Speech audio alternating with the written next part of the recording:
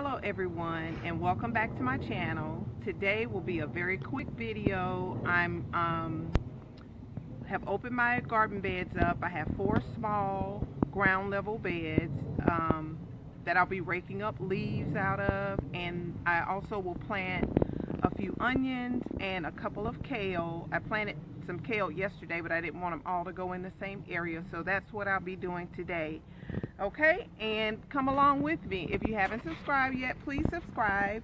Please like share comment. And thank you for uh, visiting my channel and viewing my videos. And I hope you come again. Thank you and have a great day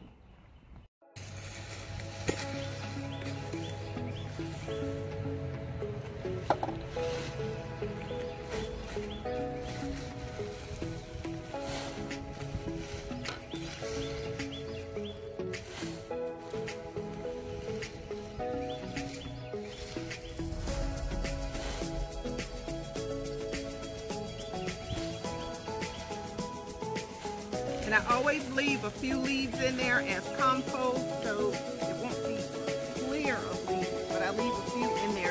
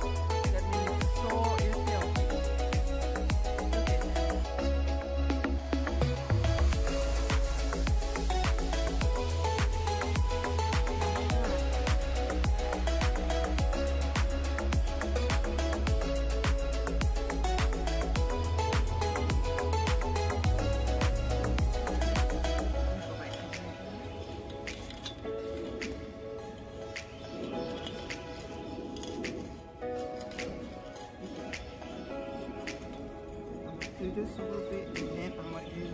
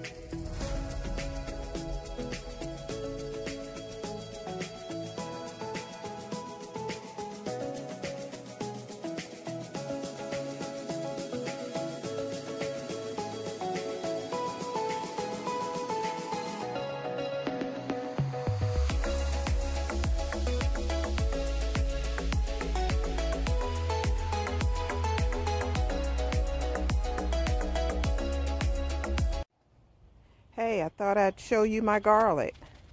I started this garlic in December. And it has, uh, started from the grocery store garlic and planted it just like I planted the onions. And look how it's grown. Look at that. So they should be ready probably around January, February, March, April, May, June, July, August. Yep, they're nice and healthy. We've been getting a lot of rain, so that helps.